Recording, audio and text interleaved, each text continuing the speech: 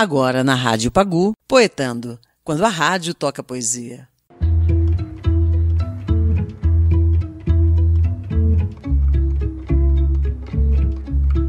Olá!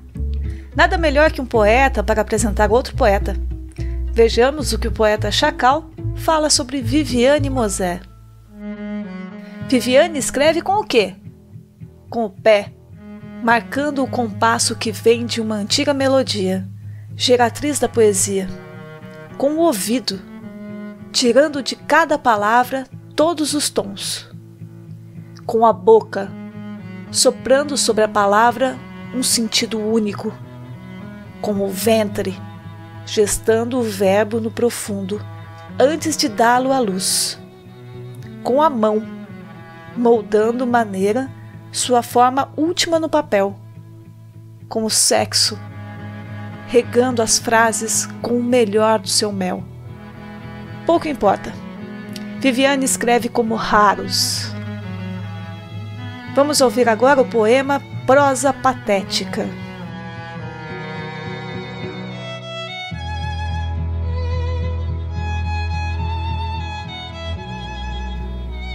Nunca fui de ter inveja, mas de uns tempos para cá tenho tido.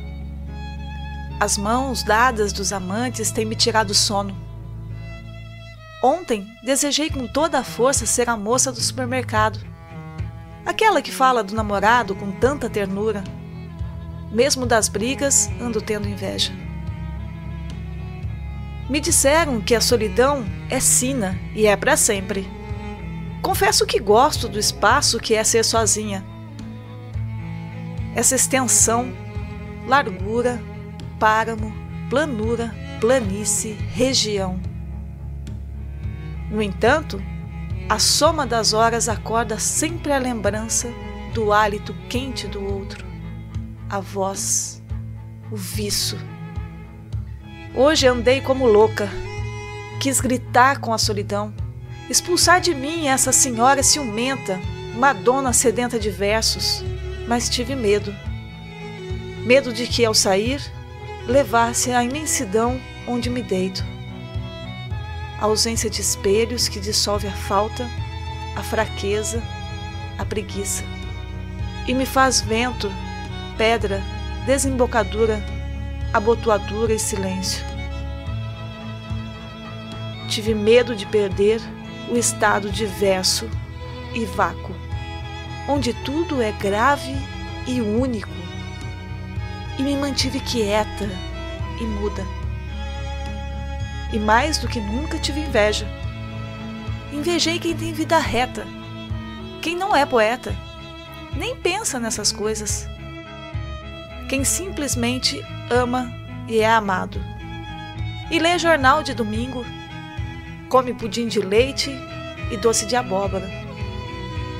A mulher que engravida porque gosta de criança.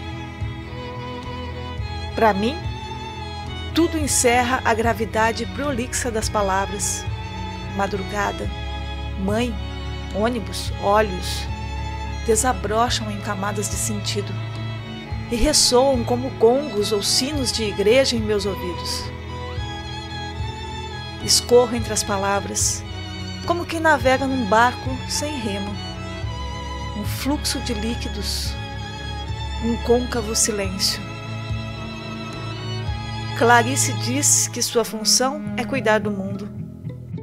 Eu, que não sou Clarice nem nada, fui mal forjada, não tenho bons modos nem berço, que escrevo num tempo onde tudo foi falado, cantado e escrito o que o silêncio pode me dizer que já não tenha sido dito?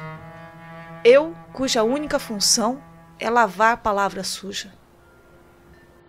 Neste fim de século sem certezas? Eu quero que a solidão me esqueça